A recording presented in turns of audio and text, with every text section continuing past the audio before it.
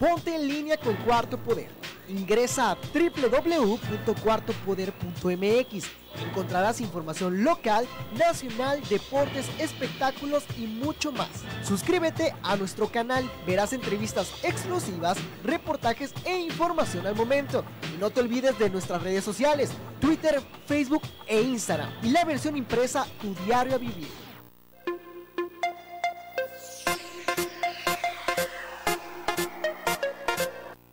Estacionamiento del antiguo aeropuerto se ha convertido ya en un cementerio de conejobús. Solo dos de cinco legisladoras llegaron a la presentación de la agenda. Reconoce Eduardo Ramírez Aguilar trato digno y humanitario de gobierno ante causas de migrantes. Militares mueren bajo fuego del crimen. Muy buenos días amigos de TVO Noticias al momento de Cuarto Poder. Los saludamos en la mañana de este martes 29 de enero del 2019. Quédese con nosotros.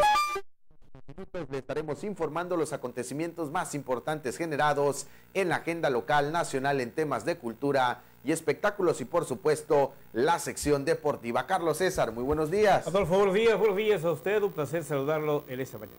Bueno, arrancamos de lleno con las noticias. Este reporte que nos presenta Ricardo López, en el sentido de que el estacionamiento del antiguo aeropuerto se ha convertido ya en un cementerio de Conejo Bus. El estacionamiento del antiguo aeropuerto de Terán funge actualmente como taller mecánico para la reparación de unidades del Conejo Bus. Sin embargo, al haber más de 50 unidades varadas sin operar, luce más bien como un cementerio de autobuses que están en la espera de ser desechados totalmente a un deshuesadero. Se realiza tal suposición toda vez que las autoridades del sistema de transporte urbano de Tuxtla, específicamente José Rubén Cruz Aguilera, gerente de operaciones del Conejo Bus, negó realizar una entrevista y fotografiar adentro de las instalaciones en donde están aparcados las decenas de vehículos y ver cómo funciona dicho taller mecánico.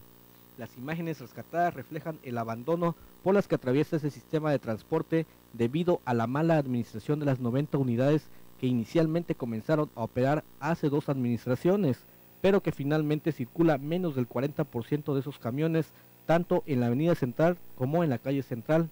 Al buscarlo en sus oficinas, ubicado en otro punto de la ciudad, José Rubén Cruz Aguilera, gerente de operaciones del Conejo Bus, reconoció que actualmente dentro de las rutas transitan solamente 34 unidades de estas y 40 son reparadas conforme al remanente del ingreso con el que cuentan.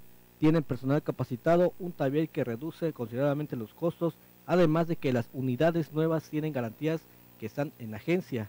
Explicó que uno de los problemas por el cual el Conejo Bus está en esa situación lo arraigan desde el 2016, fecha en que inició el conflicto magisterial y casi medio año estuvieron circulando en rutas alternas.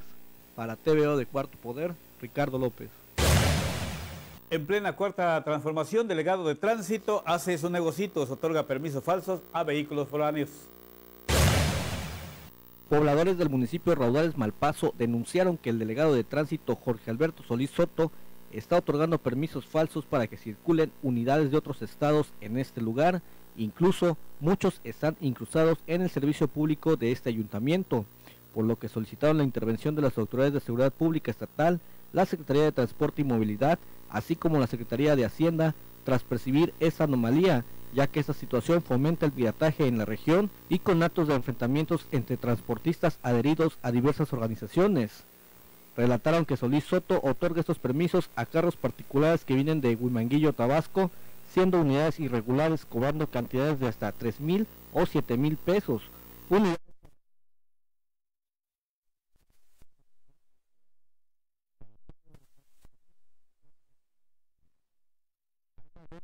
porque también se están presentando anomalías en la jurisdicción sanitaria número uno aquí en la capital chiapaneca.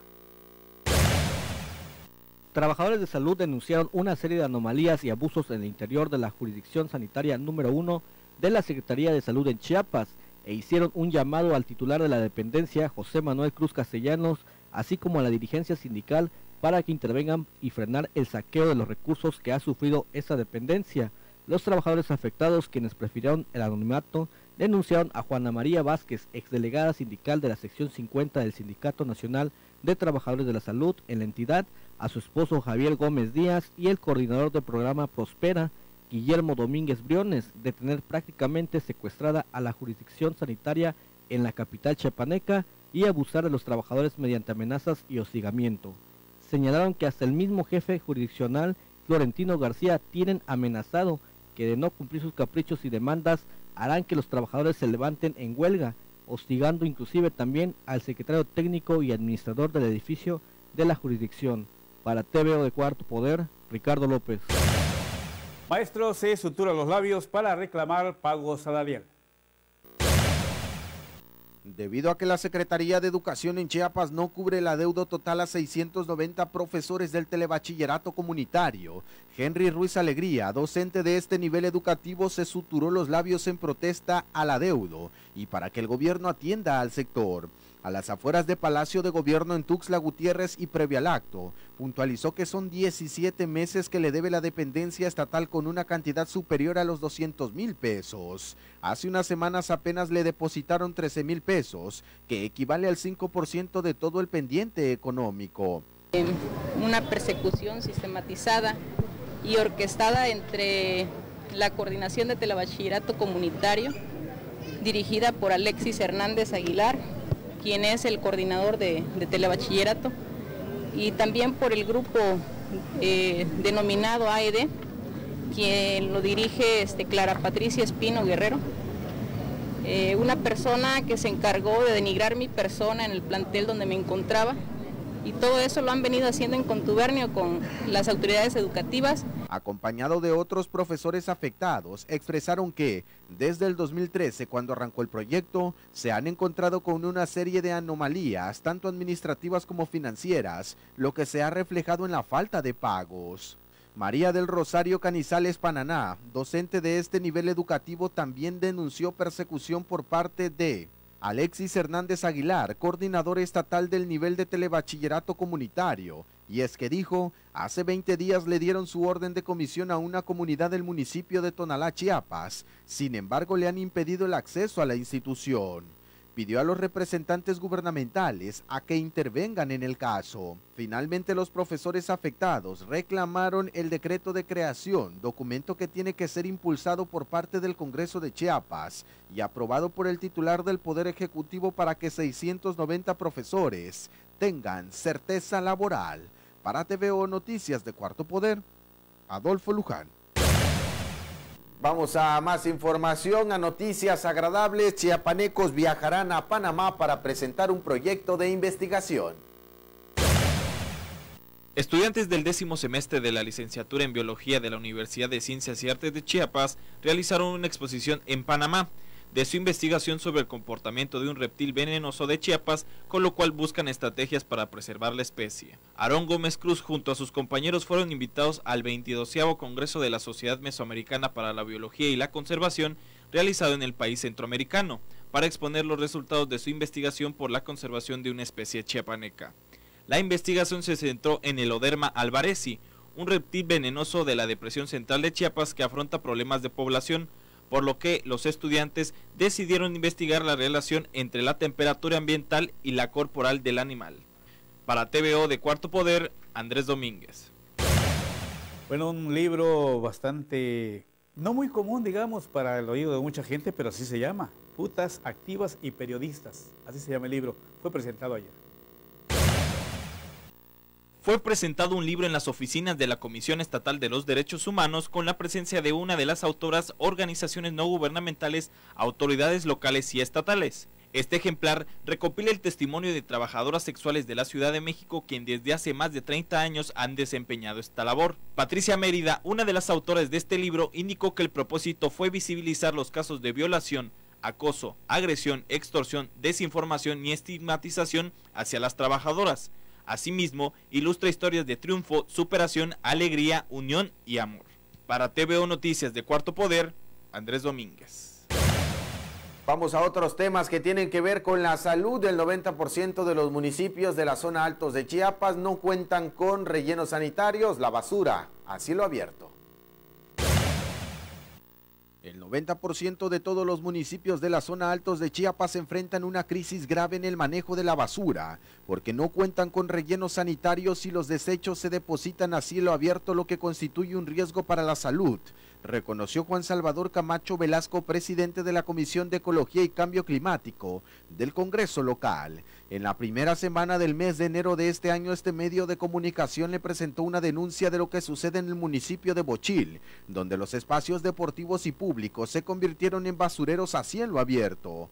En aquel momento, habitantes del barrio Morelos denunciaron que el centro de rehabilitación municipal se convirtió en el lugar perfecto para depositar los desechos, a pesar de los problemas que se reportaron en la salud de las personas. El diputado local dijo que ya tienen conocimiento del tema y se tiene que actuar con prontitud, por lo que buscarán que los recursos que sean necesarios lleguen al municipio para frenar este conflicto añejo en toda la región. Inclusive reconoció el grave problema de salud que representa la basura a cielo abierto, pero también hay un daño ecológico mayor, provocado desde hace varios años. Para TVO Noticias de Cuarto Poder, Adolfo Luján. Bueno, la montaña más alta del sureste está en Chiapas, está en el Tacana. En el marco del cumplimiento de los 16 años de la Reserva Natural del Volcán Tacaná, especialistas comentan que la trascendencia de este hecho ha ayudado a que se conserve gran parte del ecosistema regional y que se generen beneficios de impacto para los habitantes de esa zona. Francisco Javier González, biólogo y director de la reserva a cargo de la Comisión Nacional de Áreas Naturales Protegidas, detalló que desde 2003 más de 12.000 hectáreas están sujetas a conservación. Ubicado entre los municipios de Cacahuatán, Tapachula y Unión Juárez, dicha reserva natural es parte del programa de conservación de la Organización de las Naciones Unidas para la Educación, la Ciencia y la Cultura. González indicó que esta zona de Chiapas se presentan ecosistemas únicos en el país, tales como el bosque de niebla más extenso del sureste, inclusive actualmente investigadores han encontrado hallazgos de especies nuevas que se pensaban estaban extintas. Para TVO de Cuarto Poder, Andrés Domínguez. Legisladoras del Revolucionario Institucional presentaron la Agenda Legislativa 2018-2021.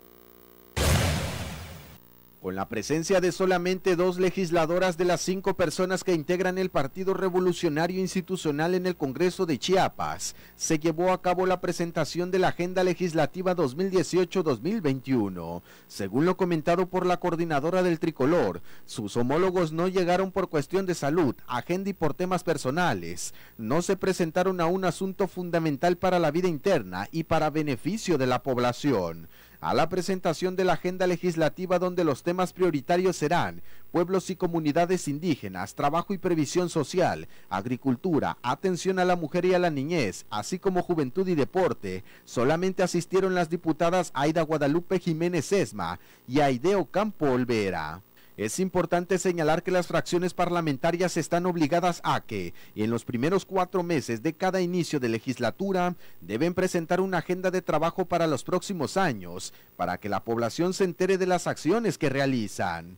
Culminada la presentación de la agenda legislativa, la coordinadora del PRI en el Congreso de Chiapas, respondió que van a entrarle a los temas de debate y serán serios y con argumentos para hacer una oposición responsable y que abonen a la gobernabilidad en el Estado. Para TVO Noticias de Cuarto Poder, Adolfo Luján. Se nota claramente la unidad que hay entre los cinco diputados locales del PRI. Si así están los diputados, ¿cómo estará el partido en Chiapas y a nivel nacional? El otro tema, reconoce el senador Eduardo Ramírez Aguilar, trato digno y humanitario del gobierno ante causa migrante. Eduardo Ramírez Aguilar, senador por Chiapas, destacó la importancia de trabajar y luchar desde las instituciones contra todas las formas de discriminación, odio y xenofobia, sobre todo en estos momentos que existe un éxodo migrante proveniente de Centroamérica. En este sentido, Eduardo Ramírez reconoció al presidente Andrés Manuel López Obrador y a su gobierno por el respeto, la atención y el trato digno que han dado a los migrantes centroamericanos que cruzan por el territorio nacional para quienes ha habido un acompañamiento de tal manera que se garantice el respeto a sus derechos humanos. Esto luego del evento anual que se realiza en el Senado de México para conmemorar la memoria de las víctimas del holocausto y en recuerdo de Gilberto Bosque Saldívar, gran diplomático mexicano que apoyó a la comunidad judía víctima de las atrocidades del nazismo. En relación a ello, Eduardo Ramírez señaló que se debe reiterar nuestra fidelidad a los derechos humanos y a los esfuerzos que permitan crear una cultura para que las nuevas generaciones reafirmen su compromiso con ellos y para que todos los pueblos los gocen, promuevan y defiendan. Con información de agencias, para TVO Noticia al momento de Cuarto Poder. Vamos con información de la agenda nacional y es que militares han muerto bajo las balas del crimen.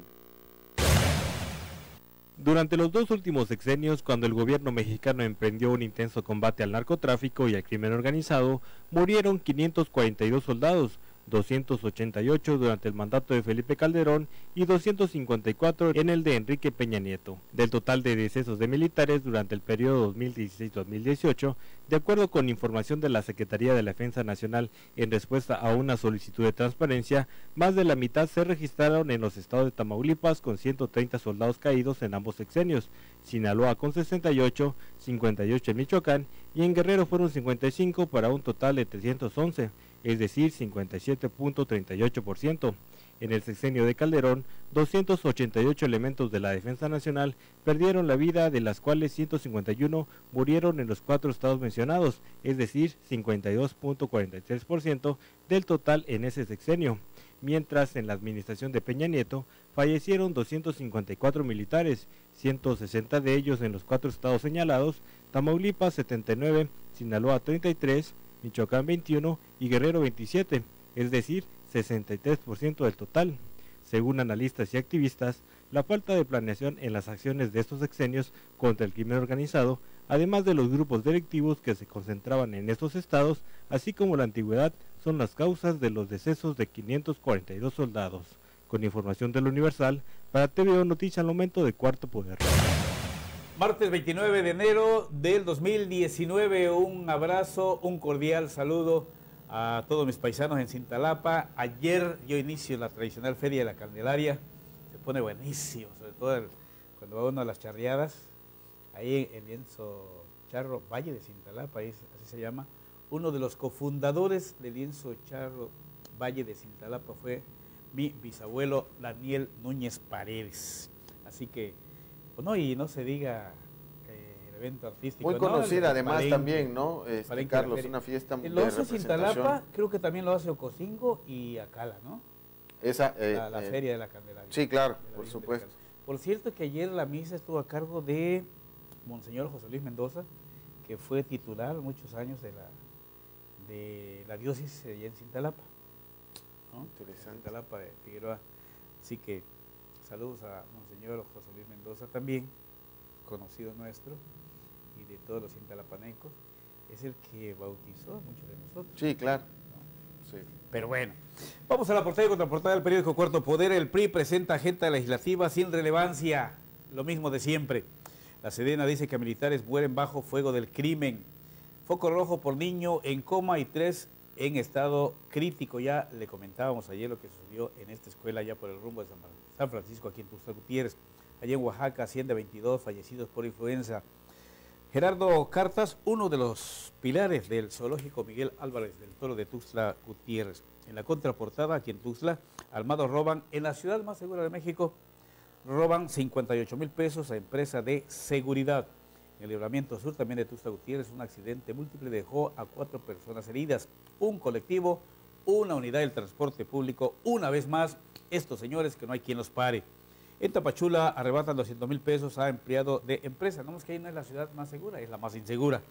Chiapa de Corzo, veloz conductor, volcó y abandonó su unidad. En las luchas asociadas, Emilio Pérez con oro en el cierre del Nacional. En la sección de opinión, hoy está mi compañero Alejandro Moguel Serrano.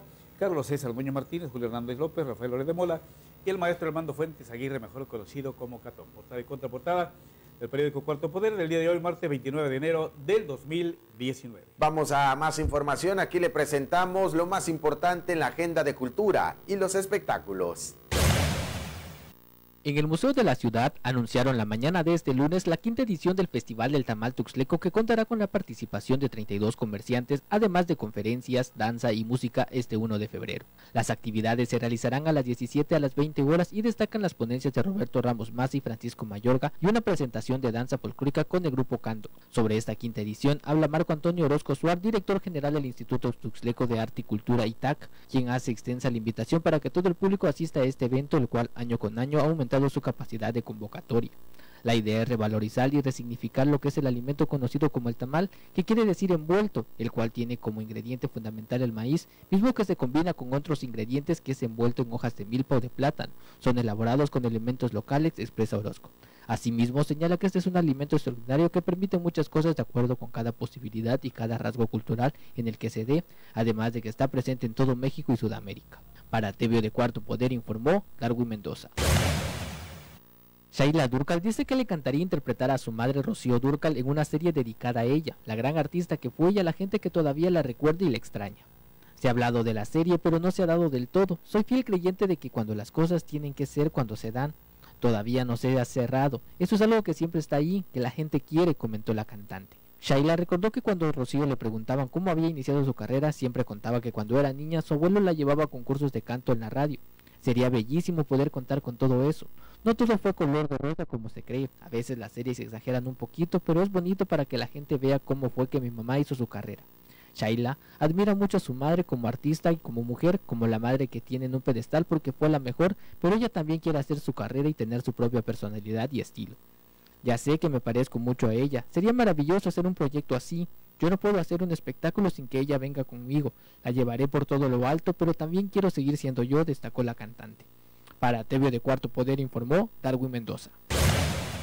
Mire, le ganó, en los deportes le ganó la América al Pachuca y corrieron al técnico. Dicen que después del 6-0 que le metió a los Pumas, venía ya David Patiño dando Sí, claro. Bueno, y, la llegada de Bruno, Marioni, también fue muy cuestionada y polémica por algunos comentaristas. Y resulta que le podía dar la puntilla al América el sábado a Rafa Puente. No me gustaría porque el chavo es movido, es técnico mexicano, joven.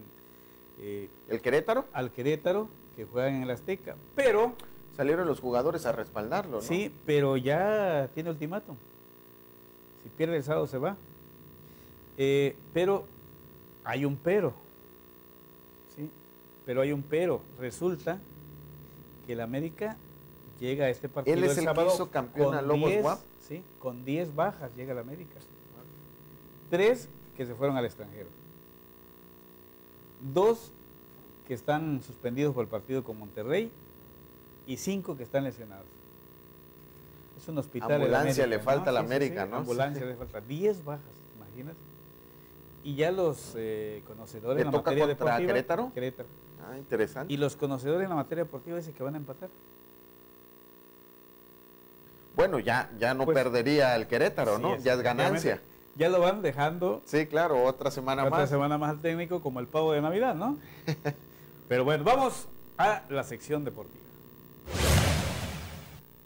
Se jugaron nueve partidos correspondientes a la jornada 19 de la categoría mixto de la Liga Municipal de Tochabandera, en los campos del Parque Recreativo Cañahueca, en donde el conjunto de Berserker venció en calidad de visitante a Gladiadores 0-21 para así continuar como segundo lugar del torneo, mientras que los líderes descansaron en esta fecha. Halcones venció 46-6 a Charmanders, Titanes 36-6 a Elon Gors, Rinos 14-47 con DC, Fededon perdió 0-21 ante Mustang, Banayem perdió 0-25 a Balaya, Zorros perdió 13-20 ante Pumas, Jabalis Blancos ganó 21-0 a Zorros Blancos y Powerbox perdió ante Supersónicos por marcador de 34-0. Para TV Deportes de Cuarto Poder informó Adrián Cisneros. La Comisión Nacional de Downhill Chiapa de Ciclismo de Montaña se encuentra listo para el Campeonato Nacional Downhill que tendrá como sede para la primera fecha el Ajusco de la Ciudad de México el próximo 9 y 10 de marzo, en el que se esperan más de 150 competidores de toda la República Mexicana y en el que tres atletas chiapanecos de la categoría expertos consiguieron su boleto para estar presentes. Cabe destacar que los tres primeros lugares de la primera fecha pasarán a formar parte del selectivo que representará a México en los Panamericanos que se llevarán a cabo en Bariloche, Argentina, del 10 al 14 de abril. Los ciclistas que representarán al estado de Chiapas son Emanuel Jonapa Jiménez, Isaac Néstor Sesma Domínguez y Kevin Ojeda. De acuerdo al calendario 2019, después de asistir a la Ciudad de México, será hasta el 20 y 21 de abril que viajarán a Guanajuato, Posteriormente asistirán el 25 y 26 de mayo al estado de Puebla, el 20 y 21 de julio a Hidalgo, 28 y 29 de septiembre a Colima y culminarán el 16 y 17 de noviembre en Valle de Bravo, Ciudad de México. Para TV Deportes de Cuarto Poder informó Adrián Cisneros. La Escuela Municipal de Natación Marlines se prepara de cara a los próximos eventos internos que tendrá en los siguientes meses, con el objetivo de medir el rendimiento de los alumnos y crear un preselectivo para el club, según dio a conocer Eliezer Ruiz Herrera, encargado de la alberca del Parque del Oriente. El primer torneo se tiene programado para los días 15, 16 y 17 de marzo y se realizará en la alberca semiolímpica del Parque del Oriente y en el que se incluirán todas las categorías infantiles, juveniles y máster con la participación de seis escuelas de la capital chiapaneca y de otros estados de la República Mexicana. Para finalizar, invitó al público a unirse al club que está ubicado en el mencionado parque en sus distintos horarios de lunes a sábado. Para TV Deportes de Cuarto Poder informó Adrián Cisneros. Luego de tres días de intensa actividad en el primer selectivo nacional clasificatorio 2019 de luchas asociadas, efectuado en Guadalajara, Jalisco, la delegación chiapaneca consiguió cinco preseas de oro, tres de plata y tres de bronce, destacando Eduardo Maximiliano García Betanzos y Emilio Pérez Alfonso en el sector adultos, quienes consiguieron puntos para buscar la clasificación a Juegos Panamericanos de Lima, Perú. En la categoría de adultos, Eduardo Maximiliano García Betanzos en el estilo libre de la categoría 125 kilogramos y Emilio Pérez en greco los 60 kilogramos volvieron a imponer su técnica en sus respectivas peleas al colgarse la medalla de oro y con ello regresan en este nuevo ciclo deportivo con esos anhelos de volver a ser parte del equipo mexicano. En este mismo certamen federado, Juan Pablo de la Cruz se agenció un oro en los 85 kilogramos greco escolar y los otros dos metales auros fueron por Fernando Pérez Vázquez en los 42 kilos cadetes greco y Kimberly Monserrat Vázquez Canter en el femenil cadete libre y con ello contabilizaron las cinco precias doradas. Para TVO de Cuarto Poder, Ismael Quintero Arzate, Deportes. Con la participación de 21 escuadras se llevó a cabo la quinta edición del tradicional torneo por equipos de ajedrez, con el cual el Deporte Ciencia inaugura sus actividades a nivel estatal y al final los campeones fueron Tejones del Museo del Niño y Legionarios que se enfrascaron en tremendas partidas y al final terminaron empatados. Al final de las cinco rondas, Tejones del Museo del Niño y Legionarios se encontraron empatados con nueve puntos match, por lo que el desempate con partidas Blitz les puso más sabor y emoción a este campeonato. Sin embargo, ninguno de los dos equipos se dio terreno y después de las partidas, el empate continuó. El último recurso del desempate de las partidas Armagedón tampoco logró su objetivo de coronar campeón a un solo equipo, por lo que, al igual que el año pasado, se decidió que el campeonato lo compartieran ambas escuadras. Para TVO de Cuarto Poder, Ismael Quintero Arzate, Deportes. La Asociación Chiapaneca de Boxeo concluyó con el serial de torneos de cara a los procesos de Olimpiada y Nacional Juvenil 2019 y con el cual también busca promover la disciplina y foguear a los púgiles que aspiran a ser seleccionados estatales. El Centro Integral de Boxeo Romeo Naya recibió a más de 24 boxeadores de los diferentes clubes de la capital chiapaneca, los cuales dieron prioridad a los nuevos talentos para participar, ya que serán quienes representen al Estado en próximas competencias. Entre los ganadores en este cuarto evento destacaron Diego Champo del Gimnasio Yoc, Luis Cervantes del Gimnasio JJ Solís y Justino Olmedo del Gimnasio Yoc, todos en el sector infantil. Para TVO de Cuarto Poder, Ismael Quintero Arzate, Deportes. ¿Pero lo trae la pipo o la patrulla? Vamos con... Sí, ¿lo trae la pipo o la patrulla? No, no, no, el, el, el video. Ah, ok. Lo que pasa es que estamos viendo un video Sí. aquí en, en redes sociales en donde las pipas que están transportando este, combustible en varios puntos de la República Por el tema del son escoltados por la Policía Federal de con- Caminos y el Ejército, ¿no? ahora concepto de guachicol, ¿no? Guachicol. Y el guachicolero mayor ya se amparó, ¿no? Sí. Carlos Romero de Chan, el dueño del sindicato de Pemex. Es Con- un, es un tema Él- que... él y Ricardo Aldana, él es el secretario general y el de finanzas es Ricardo Aldana. Entonces, eh, las cuotas políticas que le daba el PRI, a uno lo hacía senador y a otro diputado federal. Y al siguiente tramo, uno era senador. se invertían los cargos. Los únicos, los únicos, los dos ellos, ¿no? Ricardo Aldana, el eterno de finanzas del sindicato, ¿Y que cómo, y cómo ha ¿no? generado reacción el tema del guachicoleo, ¿no, Carlos? En el gobierno federal de Andrés Manuel eh, mostrando, digamos, su postura en cuanto a que sí ha tenido beneficios y resultados y la oposición encima, ¿no? Es, Sí. es, Oye, este, muy- este, muy por ya. cierto, anoche en redes sociales me quedé con la duda, no sé si ustedes ya lo hayan visto, que subió eh, Daniel Solórzano, Sol, eh, joven hijo de mi abuelito Augusto Solórzano López, saludos, que aquí por Laguitos hay una gasolinera nueva que está dando a 16 pesos el litro. Ah, no, no estaba enterado. Es una gasolinera nueva. eh, de letras rojas, creo, de Rexol, que está dando 16 ¿Litros completos? punto con centavos litros completos. 16 pesos el litro. Interesante porque en Tenemos algunos casos, sí, estar claro, en algunos casos ya se, se ha denunciado, lo hemos visto en video, ¿no? Inclusive Ujú. tú compartías uno de los videos eh, hace unos días donde pues la gente va con garrafas como para probar si realmente Sí, dan cierto, el litro sí, y, sí, sí. y en muchos casos pues no, no sucede así. Bueno, mire usted, el Istmo Costa y Soconusco, aquí en el estado de Chiapas, siguen siendo las zonas más calientes, más colorosas de, de la entidad. Eh, registran temperaturas de 26 a 29 grados centígrados, eh, con vientos de 26 a 29 kilómetros por hora y 40% de humedad.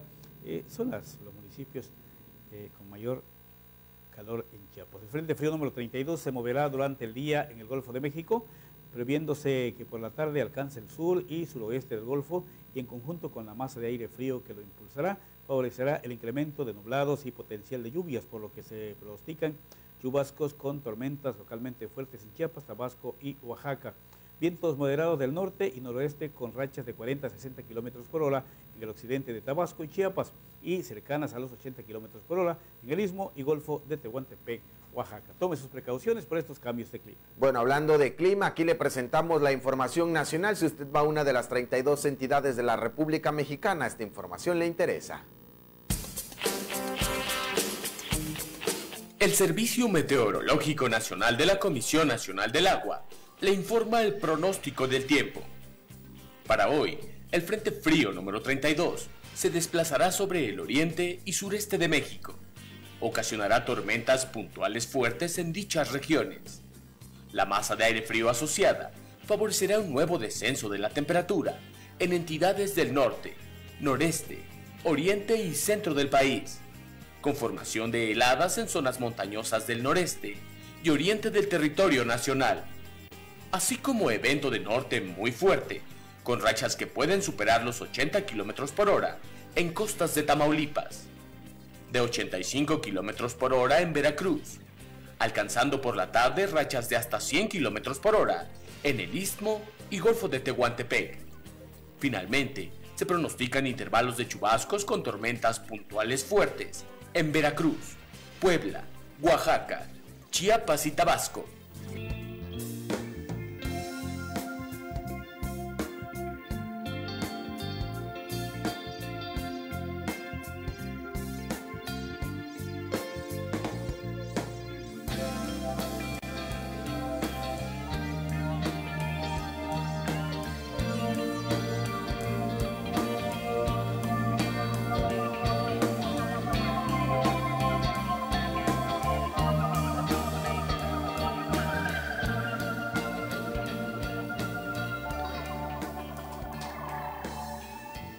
Esta información llegamos a la conclusión de la primera emisión de TVO Noticias al momento de cuarto poder. Recuerden, punto de las 2 de la tarde le tendremos, por supuesto, más información a nombre de todo el equipo. Gracias. Nuestros compañeros camarógrafos Marcos Osorio, Max Otero en los sistemas informativos, el ingeniero Armando Barrientos en la edición, Alex Orozco y Alex Castillejos en la producción, el ingeniero Juan Carlos, Carlos César. Nos vamos. Gracias. Buenos días. Gracias a ti, Adolfo, sobre todo usted que los ve y los escucha. Hasta mañana.